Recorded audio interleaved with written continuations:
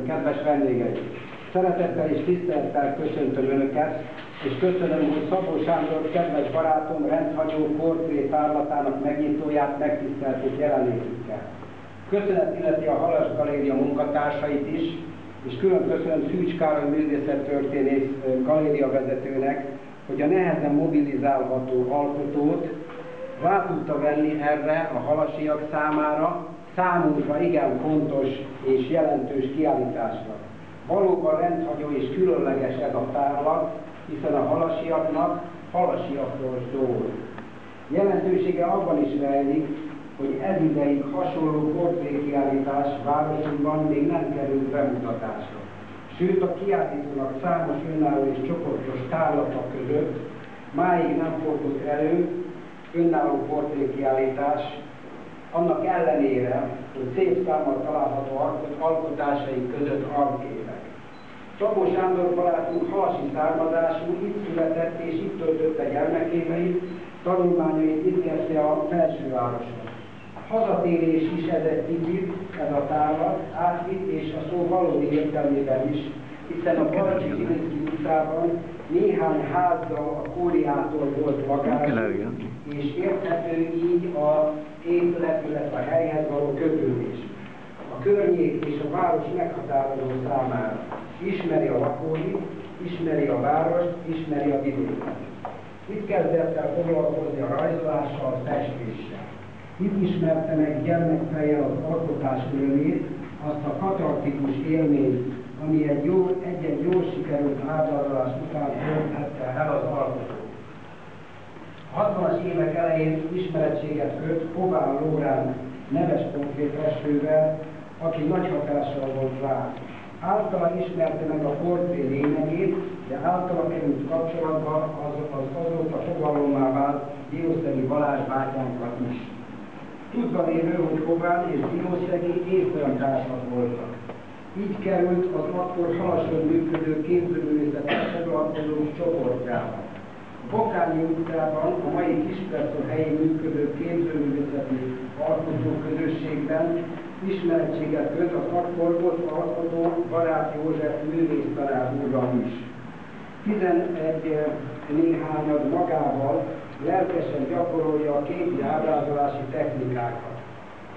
Később magas igényszinten működő dekoratőrként alkalmazott grafikával foglalkozik, hivatásterület, Kiskörösre kerül, ahol több képzőművészeti érdeklődésű alkotótársával együtt rendszeresen rajzol, fest és kiállít. Egy idő után munkája Budapestre szólítja a belügyminisztériumban, dekorációs osztályon munkatársként dolgozik hosszú éveken át. Közben rendszeresen a pályázatok útján megfordul alkotótáborokra. Ezek meghatározó művészi fejlődésében az a hat éven keresztül tartó alkotótábor részvétel, melyen a Szőni István által létrehozott művészkolonia hagyományai folytató Zebegényi alkotóközösségben tölthetett. Itt tökéletesítheti grafikai és festői ismereteit. Az ebegényi évek alatt csiszolódik látásmódja, tökéletesedik ábrázolási technikája. Kifejezés módjára egyéniségéből fakadóan és a dekoratív munkából eredeztethetően sajátos szín és formavilág jellemző. A látás és láttatás markásan expresszív módszerét választja. Kiváló grafikai készséggel párosuló, sokszor folkszerű, élénket, derűs színvilága teszi bátor koloristává. Képei a természet szeretetét és tiszteletét tükrözik. A szülőföld, a halasi és halas környéki ember és táj iránti vonzalma tetten érhető témaválasztásaiban. Előszeretettel festi a rét és az erdő növényeit, állatait.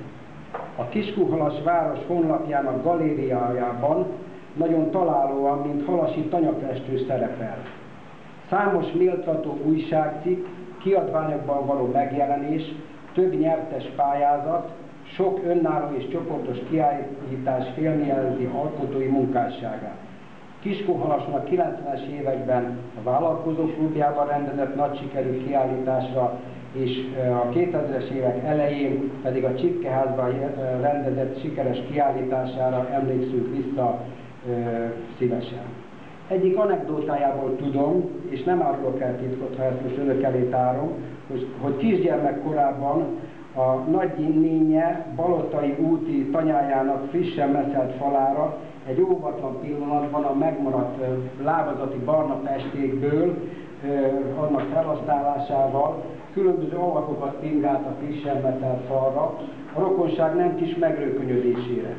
Akkor szokásos dorgálás, vagy inkább fenyítés a hatására gyereki, gyermeki indulattal csak így válaszolt Sanyi barátom. Lesz még nekem kiállítótermem ezen a tanyán.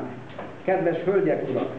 Elmondhatom, hogy itt, most, mellettem, személyében egy boldog alkotó művészembert köszönhetünk.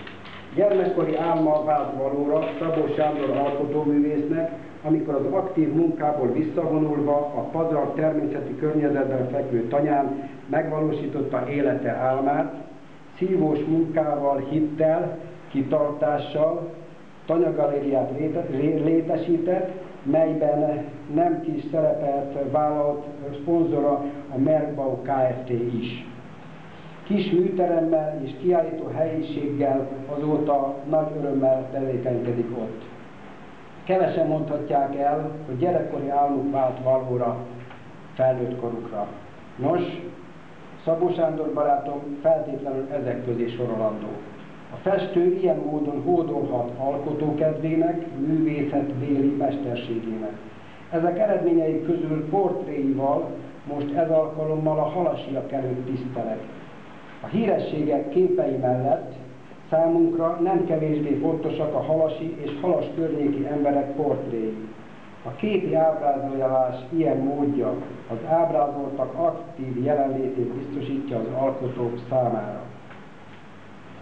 A személyes ismer, ismerősünké válnak így számunkra a kiállítás termelése közben az ábrázolt polgárok, életük egy-egy pillanatát kiragadva tárgya elénk a festő a halasi embert, a kort, amelyben élünk. A portréfestés egyik legősibb ábrázolási forma. Az, egyete, az egyiptomi falképek vagy fatáblás portrék ábrázolásaitól a gótika, reneszánszon és a többi ö, művészeti korokon keresztül egyre fokozottabbá előtér, jobban előtérbe kerül a portréfestészet. Némi túlzással azt mondhatjuk, hogy a képzőművészet fejlődését igen jól félmjelzi az ilyenfajta ábrázolás. Most, kedves vendégeink, ebből a meggondolásból lemérhetjük Szabó Sándor alkotói munkásságát portréi keresztül is. A portréfestés lényegéből fakadóan alkotók számára nem az a fontos, hogy fotószerűen pontosan ábrázoljon egy arcot, nem a szolgai hűség jellemző ábrázolására, hanem az, ami számos képén itt is visszaköszön. Az ábrázolt jelentősebb lényegi vonását ragadja meg, egyéniségét, egyéniségének, személyiségének legjellegzetesebb kisugárzását tükrözi vissza számunkra. Alkotásai között valóban a portré ábrázolás mestermunkáit fedezhetjük fel, megcsillogtatva az alkotó kiváló lényeglátását, grafikai tehetségét és kiváló emberismeretét. A képek másik csoportja rendkívül expresszivitással, különleges, rá jellemző élénk, derűs optimizmus sugárzó színvilágával, életigenlésével hozza ember közelbe a köztünk élő halasi emberek portréit. A színek, a portréképek közül a markáns, a színes portréképek közül a markáns olajtechnika, a rájellemző ecsetkezelésre és festési módja tűnik szembe. Az itt kiállított képek egy külön színes csoportja, a lágy, könnyes pasztel technika sajátságosan bársonyos faktúráját jellemzi, igazi mesterségbeli tudást igazolva számunkra. Képeiben a színeket sajátos ritmusba rendezi a alkotó. Az arcképben összeolvasztott szín akkordokat a kontrasztos ellenpontok diszonanciájával teszi élvezhetővé. Figyelemre méltó, hogy képei mindegyikén igazi mester módjára bánik a fényjel, ragyogóan kihasználni az árny és a fény biztosította lehetőséget. Az arcok vasszicitásának megjelenése eh, során. A portréképek között a beállítások közül a klasszikus szembenéző portré, az enfész, a negyed és félprofilok fordulnak elő leginkább, profilábrázolásokra nem igen találkozunk. Érthető is, mert a profilképek nem olyan emberi közeliek, nem olyan személyesek, mint amilyenek a, a festő választott. Tisztelt vendégeim! Fogadják és szemléljék a kiállítás anyagát olyan szeretettel, amilyen szeretettel és tisztelettel az alkotó készítette azokat, és amilyen ambícióval a galéria munkatársai berendezték ezen tárlatot.